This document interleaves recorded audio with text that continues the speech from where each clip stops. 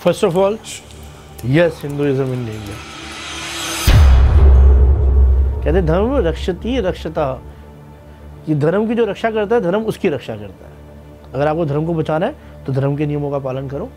जब वो धर्म का पालन ढंग से नहीं कर रहे हैं तो धर्म डेफिनेटली डेंजर में है।